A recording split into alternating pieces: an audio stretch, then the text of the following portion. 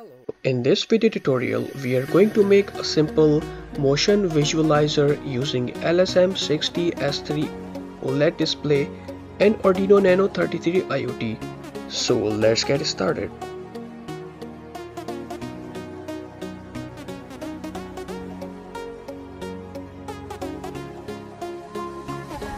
For more interesting project, please subscribe to our channel and don't forget to click on bell icon for our recent post notifications.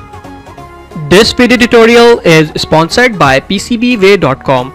They are providing you a high quality PCBs for just $5 only. So visit the website and click on this sign in button. Create your account and then click on $5 for 10 PCB button.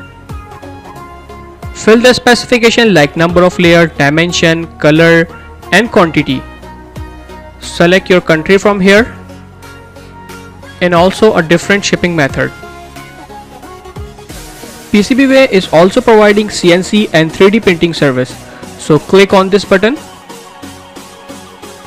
upload your CAD file and place your order now.